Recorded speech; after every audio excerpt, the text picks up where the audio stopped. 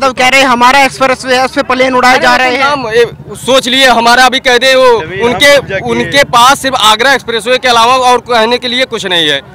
Purvanchal express way घर में बैठे एसी ऑन करके सुने कहें कि हमारा प्रोजेक्ट है और इसका शिलान्यास जिस तरीके से कर रहे हैं उसको दिखाई दे रहा है कि कौन बनवाया ज़मीन अधिग्रहण तक नहीं किए थे वो। पूरा काम पूरा पूरा का पूरा काम योगी योगी सरकार ने किया। तो दिया था कि काम बोलता है हमारा काम बोलता है। नहीं काम करने से नहीं शुरुआत से नहीं मतलब होता। काम पूरा फाइनल एक ही नाम जय श्री राम जय श्री राम। जनता जो है यूपी की सरकार यूपी की जनता जो है रिज़ल्ट देखना चाहती है। नहीं आप जो बंटवारे की सरकार वो जान चुकी है इसलिए अब की बार फिर एक बार सारी जनता ये तय कर चुकी है यूपी की जनता पूर्वांचल की जनता की योगी सरकार पूरा फिर आएगी। किसका काम बोला? योगी सरकार। योगी सरकार का। अखिलेश जी तो कहते हैं हमारा बोल रहा है। योगी उनका कारनामा बोल रहा है। उनका काम नहीं उनका कारनामा बोल रहा है। अगर उनका अगर उनका काम बोलता तो दो टोपी लेके नहीं चलना पड़ता। जहाँ देखो वहाँ टोपी।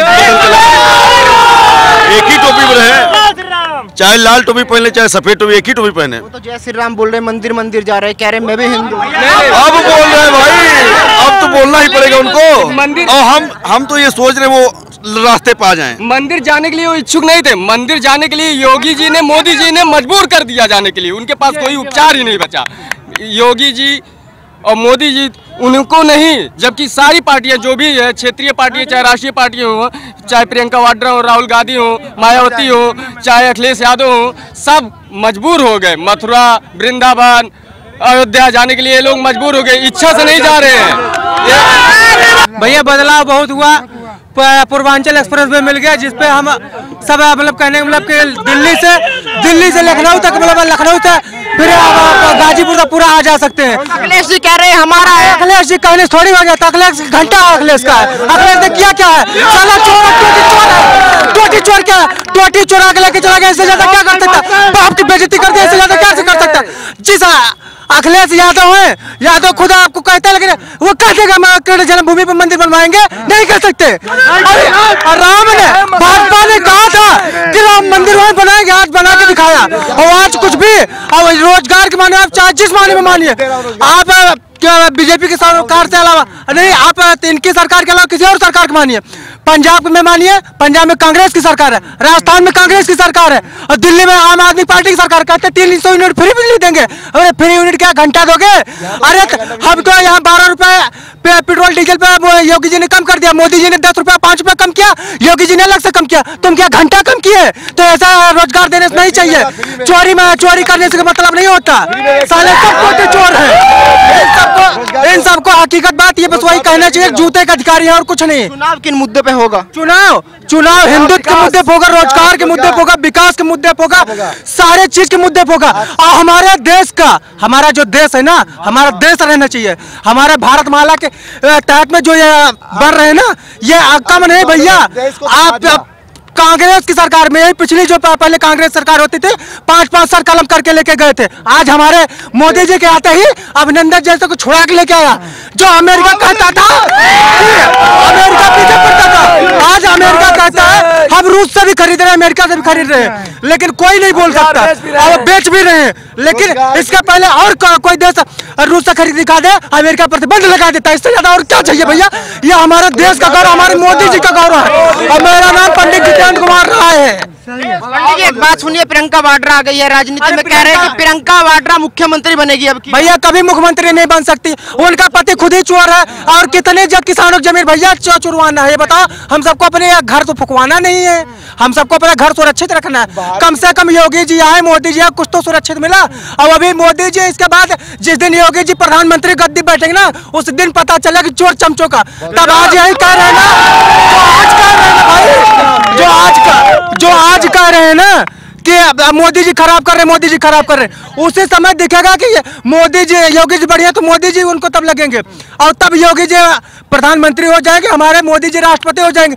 तब देखना कि भारत जो है ना विश्व गुरु दिखेगा एक बात मैं और आपसे पूछना एक बात और आपसे पूछना चाहूँगा। आपने कहा मैं ब्राह्मण हूँ। अभी आपने कुछ समय पहले देखा होगा कहा जा रहा था कि जो योगी सरकार है ब्राह्मण विरोधी सरकार है। ब्राह्मण की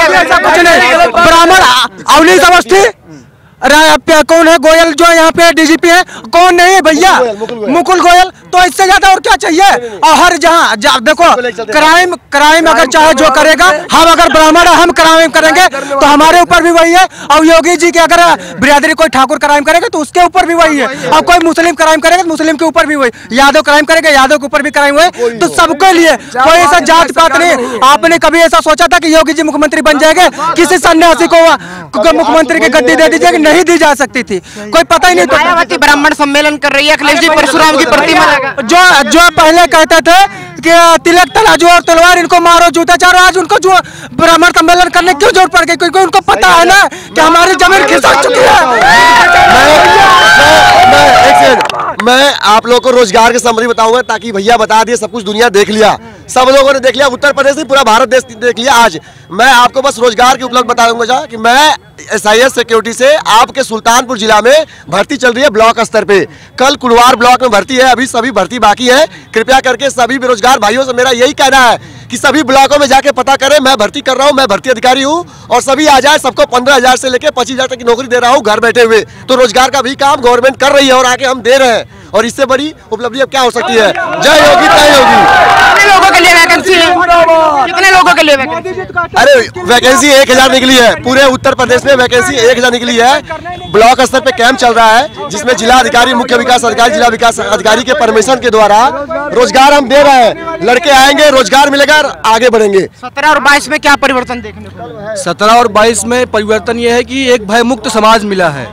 जहाँ पे चौराहे पे गुंडागर्दी होती थी और विशेष सरकार के संरक्षण में पलने वाले गुंडे को सरकार ने उनको अंदर कर दिया है या प्रदेश से वो बाहर चले गए हैं या अंदर है तो वो जानबूझ के बेल नहीं करा रहे हैं। यही जो दिया है ना, भयमुक्त समाज दिया है और यही एक काफ़ी है कि हर आदमी साफ़ सुथरा माहौल में अपने बिज़नेस को, अपने व्यवहार से काम कर सकता है और आगे जा सकता है। ये एक अवसर ये दिया है।